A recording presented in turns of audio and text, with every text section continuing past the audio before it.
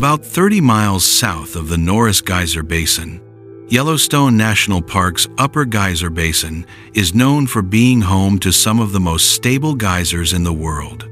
Old Faithful Geyser, for example, maintains a consistent eruption schedule, spewing hot water about every 90 minutes.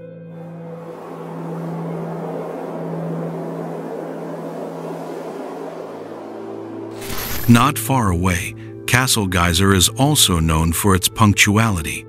With its tall, castle-like cone, this geyser typically erupts every 14 to 15 hours, making it one of Yellowstone's most predictable large geysers.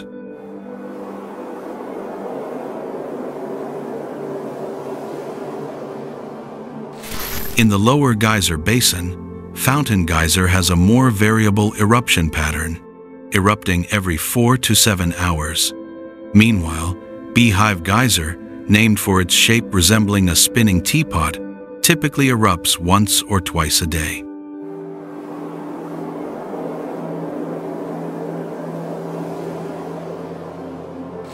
But among all these geysers, Steamboat Geyser remains a major enigma. Located on the western side of the Norris Geyser Basin, this geyser is known for its unpredictability, with long periods of dormancy abruptly ending in violent eruptions.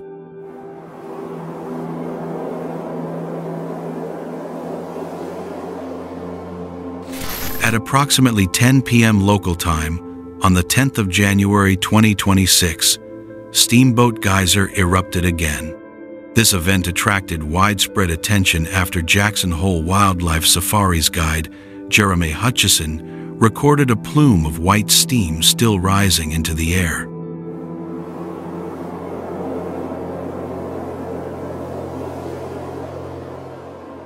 The fact that the steam was still visible that morning demonstrates the extraordinary intensity of the eruption. This eruption marked Steamboat's first major eruption since mid-April 2025, ending a months-long period of relative calm.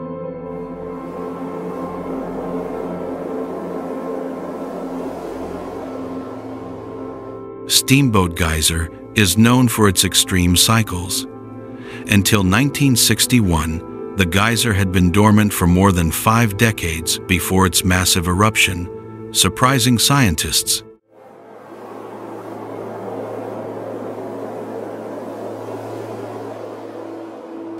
According to the National Park Service, NPS, Steamboat's unpredictable nature is influenced by changes in underground thermal energy, one of which was triggered by the 1959 Hebgen Lake earthquake.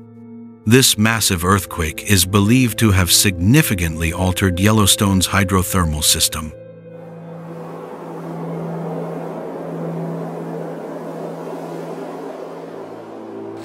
After remaining relatively quiet throughout the early 2000s, Steamboat awakened again in March 2018, spewing a giant column of steam, confirming that the magmatic system beneath Yellowstone remains active.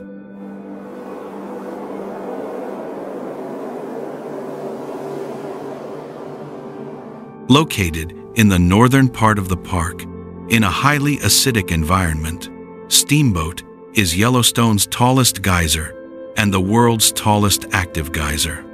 The surrounding area is filled with fumaroles, mud pools, hot springs, and colorful thermal pools.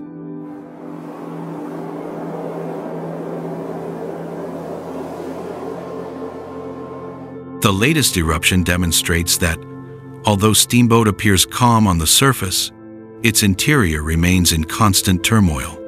During an eruption, jets of water and steam can shoot more than 500 feet into the air, resembling a giant white tower carved from the heat haze.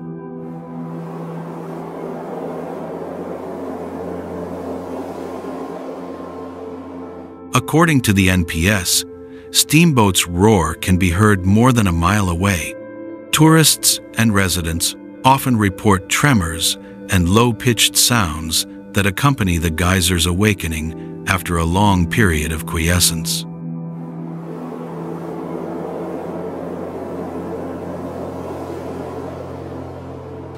Eruptions typically begin with a short but powerful jet of water, followed by a prolonged phase of steam release. The hot water flows downslope, carrying silica that coats the surface soil and vegetation.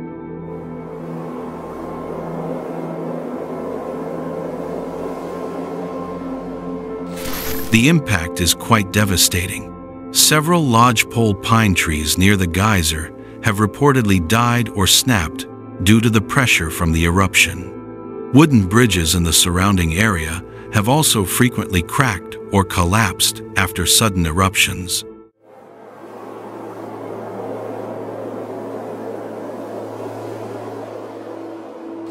The situation was further exacerbated by a major 6.4 magnitude earthquake that struck the Yellowstone region around the same time. This earthquake raised concerns among scientists because of its potential to affect the hydrothermal and magmatic systems beneath the national park.